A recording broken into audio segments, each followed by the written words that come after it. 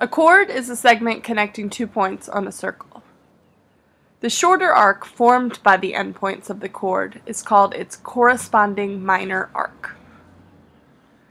If we are given a circle, or two congruent circles, with two congruent chords, we can prove that their corresponding minor arcs are also congruent. To do this, we have to remember a couple things. First, we have to remember that the measure of an arc is equal to the measure of its central angle. And a central angle is the angle formed by the arc's endpoints and the center of the circle. Now that we have those definitions out of the way, let's begin our proof. We're going to start with a circle with two congruent chords.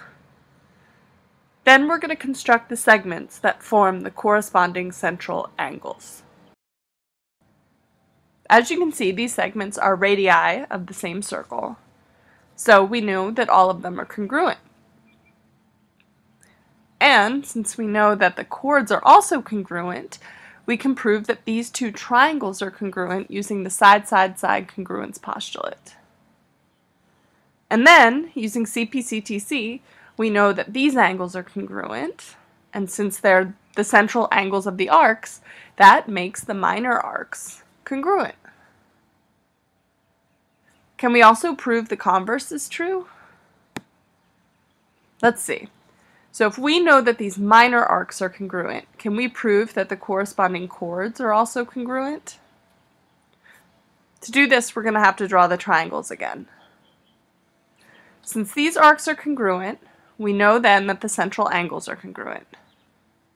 And again, since all radii of a circle are congruent, we know that two pairs of sides of the triangles are congruent. And since the central angles are the included angles, we can use the side angle side congruence postulate to prove that these two triangles, again, are congruent. And then using CPCTC, we know that these sides are congruent, so yes, we can prove that the converse is also true. That if we know that the minor arcs are congruent, then the chords must be congruent too. So, since we can prove this theorem in both directions, we can write it as a biconditional. In the same circle, or in congruent circles, two minor arcs are congruent if and only if their corresponding chords are congruent.